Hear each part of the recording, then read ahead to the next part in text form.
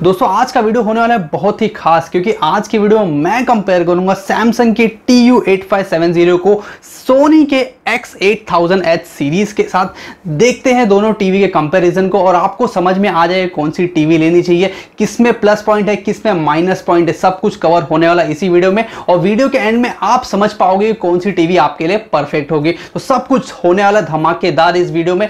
तो शुरुआत करते हैं वीडियो की, लेकिन उसके पहले अगर हमारे चैनल पर पहली बार विज़िट किया तो सब्सक्राइब का बटन दबा दीजिए। इसी के साथ ही साथ बेल आइकन ज़रूर दबाइए सारे वीडियो अपडेट्स के लिए। सो so, नमस्कार दोस्तों मेरा नाम है राकेश। आप देख रहे हैं happy guides let get started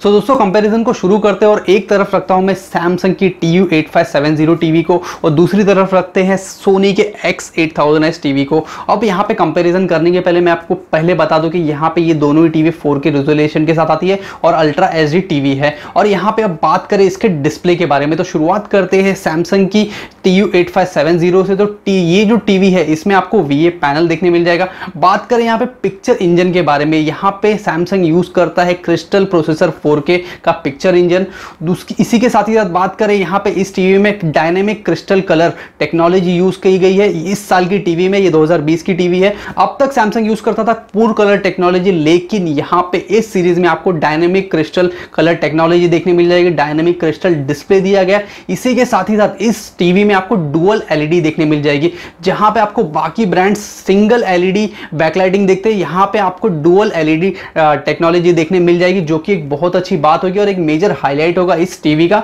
इसी के साथ ही साथ बात करें, यहाँ पे अगर आप गेमिंग के शौकीन है तो इस टीवी में आपको ऑटो मोशन प्लस का सपोर्ट देखने मिल जाएगा, जो कि बहुत अच्छी बात होगी। गेमिंग में आपको बहुत अच्छा एक्सपीरियंस देने वाली है ये टीवी और जहाँ तक सवाल है एस कैपेबिलिटीज के बारे में तो इस टीवी में आपको S D R S D R ten H L D सभी चीज़ों का सपोर्ट देखने मिल जाएगा इस टीवी में। इसी के साथ ही साथ बात करें पी क्यू आई वैल्यू के बारे में, जिसको बोलते हैं पिक्चर क्वालिटी इंडेक्स सो ये बेसिकली सैमसंग के दिया गया ये मेज़रमेंट है, जिसके थ्रू हमको पता चलता है कि टीवी की पिक्चर क्वालिटी कैसी है। तो इस टीवी में आपको 2800 का पिक्चर क्वालिटी इंडेक्स देखने मिलता है। मतलब बहुत ही अच्छा पीक्यूआई दिया गया है। अभी तक बाकी सब टीवी में इतना अच्छा वैल्यू सैमसंग ने नहीं दिया था तो इससे हमें अंदाज़ा आ सकता है कि कितनी ज़्यादा ही अच्छी पिक्चर क्वालिटी इस टीवी की होने वाली है।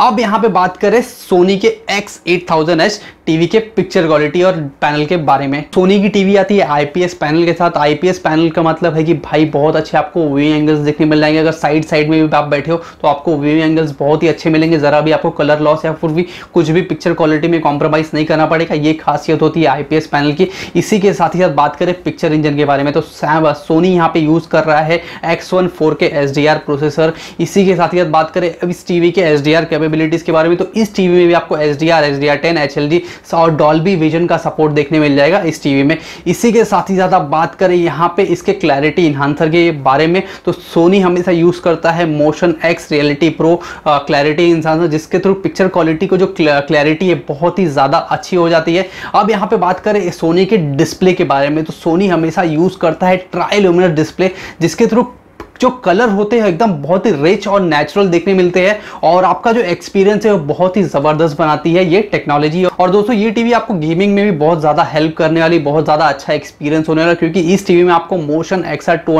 का सपोर्ट दिया गया है, जिसके थ्रू आपका गेमिंग का एक्सपीरियंस बहुत ही बेहतर बनाती है, बहुत ही शानदार एक्सपीरियंस होगा इस टीवी में। और इसी के साथ ही जो नेटिव रिफ्रेश है फिफ्टी हर्ट्स का दिया गया है। इसी के साथ ही बात करें एलईडी टाइप के बारे में तो सोनी की एक्स एट की जो सीरीज़ है, इसमें अलग अलग वेरियंट्स है। वेरियंट्स के बारे में हम इसी वीडियो में आगे बात करेंगे। तो यहाँ पे मैं बताना चाहूँगा, कुछ वेरिएंट में आपको एच एलईडी देखने मिलेगा और कुछ वेरिएंट में आपको डायरेक्ट एलईडी देखने मिलेगा तो ये मैं कौन कौन से वेरिएंट में क्या मिलने वाला मैं आपको इसी वीडियो में आगे बताता हूँ। और यहाँ पे बात करें एक खास फीचर के बारे में तो यहाँ पे सोनी की इस टीवी में फ्रेम डिमिंग का फीचर देखने मिल जाएगा। फ्रेम डिमिंग का फीचर एक ऐसा फीचर है, जिसके थ्रू आपको बहुत ही अच्छे और एकदम रिच और नेचुरल ब्लैक्स देखने मिलेंगे। और ब्लैक्स का जो लेवल है, बहुत ही अच्छा होने वाला है इस टीवी में, क्योंकि यहाँ पे इस टीवी में फ्रेम दिया फ्रेम डिमिंग दिया गया है। तो दोस्तों ये बातें होगी पिक्चर क्वालिटी और डिस्प्ले के बारे में। अब यहाँ पे बात करते हैं ऑडियो क्वालिटी और उसकी टेक्नोलॉजी के बारे में। तो दो की दोनों ही टीवी में आपको 20 वॉट का साउंड आउटपुट देखने मिल जाएगा, लेकिन जो साउंड टेक्नोलॉजी वो अलग अलग है। तो आपको सैमसंग की टीवी में जो देखने मिलेगा डॉल्बी डिजिटल प्लस टेक्नोलॉजी देखने मिल जाएगी। और बात करें सोनी की टीवी के बारे में तो सोनी की टीवी में भी आपको डॉल्बी ऑडियो और डॉल्बी एटमॉस का सपोर्ट तो देखने मिलेगा। इसी के साथ ही साथ डी सराउंड का भी सपोर्ट देखने मिल जाएगा इस टीवी में। और दोस्तों, बात करें टीवी के ऑपरेटिंग सिस्टम के बारे में तो सैमसंग की जो टीवी है, वो आती है टाइजन ऑपरेटिंग सिस्टम के साथ। और दूसरी तरफ़ बात करें सोनी की टीवी में तो सोनी की टीवी में आपको एंड्रॉइड का ऑपरेटिंग सिस्टम देखने मिल जाएगा, जहाँ पे आपको टाइजन के ऑपरेटिंग सिस्टम में आपको देखने मिलता है सैमसंग स्टोर एंड्रॉइड टीवी में आपको देखने मिलेगा गूगल का प्ले स्टोर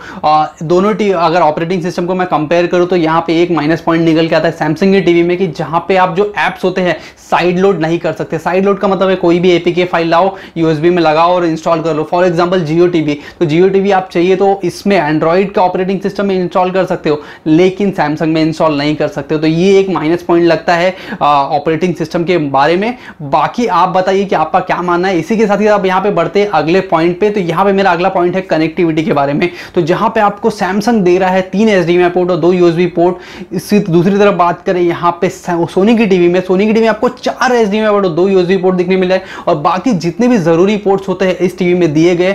इसी के साथ ही साथ ब्लूटूथ भी दिया गया है। लेकिन यहाँ पे एक डिफरेंस निकल के आता है कि जहाँ पे सैमसंग आपको प्रोवाइड करता है ई ए आर सी पोर्ट और दूसरी तरफ़ सोनी आपको प्रोवाइड करता है A R C port E A R C का मतलब होता है एनहांस ऑडियो रिटर्न चैनल और सोनी की टीवी में आपको सिर्फ़ ए आर सी पोर्ट देखने मिलता है, जिसको बोलते हैं ऑडियो रिटर्न चैनल तो यहाँ पे अगर दोनों पोर्ट्स को मैं कंपेयर करूँ तो यहाँ पे जो सैमसंग की टीवी का पोर्ट है एक पोर्ट बहुत ही ज़्यादा अच्छा है, जो बहुत ही अच्छे ऑडियो प्रोड्यूस करता है। तो अब बात करें टीवी के डिज़ाइन के बारे में तो सच बोल रहा हूँ, दो की, दोनों की टीवी की जो डिज़ाइन है, बहुत ही ज़बरदस्त है। बीजल लेस डिज़ाइन बोलूँगा मतलब स्क्रीन टू जो बॉडी रेशियो है, बहुत ही ज़बरदस्त है। और मतलब बीजल आपको देखने भी नहीं मिलेगा, इतना थिन बीजल दिया गया दो की, दोनों टीवी में। लेकिन जो डिज़ाइन को लेकर डिफरेंस है, वो है उनके टेबल टॉप स्टैंड का, जहाँ पे आपको सैमसंग दे रहा है एक ए शेप का टेबल टॉप स्टैंड दूसरी तरफ़ आपको सोनी दे रहा है, ऐसा बोलते हैं ना कैमल का जो होता है पेट क्या बोलते हैं उसको?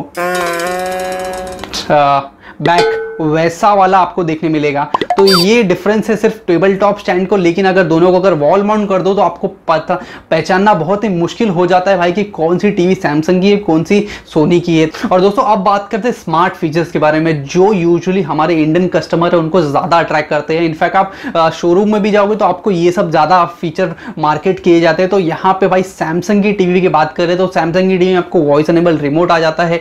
इसी के साथ ही साथ Google assistant Amazon Alexa Bixby जैसे एप्पल का सीरी है, यहाँ पे आपको बिक्सपी देखने मिल जाएगा। इसी के साथ ही साथ एप्पल एयरप्ले 2 ये सारे फीचर्स आपको देने वाला है इस टीवी में। इसी के साथ ही साथ और यहाँ पे एक्स्ट्रा फीचर्स के बारे में बात करें तो यहाँ पे एक एम्बियंट मोड का फीचर है। एम्बियंट मोड का ऐसा फीचर है, जैसे आपने सब लोग टीवी लगाई है, वहाँ पे कुछ फ़ोटोज़ वगैरह वॉलपेपर के थ्रू या फिर होम स्क्रीन पे सेट कर दो तो उसका इतना अच्छा लगता है कि समझ लो आपको ऐसा लगेगा कि फ़ोटो फ्रेम लगाया। इसी के साथ ही साथ यहाँ पे एक और फीचर के बारे में बात करें, जो सैमसंग की टीवी में देखने मिलने वाला है, कि स्प्लिट स्क्रीन का। स्प्लिट स्क्रीन एक ऐसा फीचर है जिसमें आप पूरा जो स्क्रीन का हिस्सा है, उसमें दो पार्ट में डिवाइड कर दो। एक तरफ़ लगा दो स्पेशल ऑप्स मतलब कोई भी एक सीरीज़ का नाम ले रहा हो, दूसरी तरफ़ लगा दो कोई जम तारा या फिर नेटफ्लिक्स कोई भी सीरीज़ तो ये पैरेलली आप देख सकते हो। मुझे नहीं लगता कितना रिलेवेंट है या फिर सुनने में भी अजीब लगता है, लेकिन यहाँ पे कुछ ऐसा ही आपको सैमसंग की टीवी में देखने मिलने वाला तो ये एक मतलब खास फीचर या फिर बोल सकते हो कस्टमर को अट्रैक्ट करने के लिए सैमसंग दे रहा है। और इसी के साथ साथ एक और स्मार्ट फीचर्स के बारे में बात करें तो जहाँ पे आप कंटेंट शेयरिंग करते हो मोबाइल का कंटेंट टीवी पे देख लेते हो आसानी से।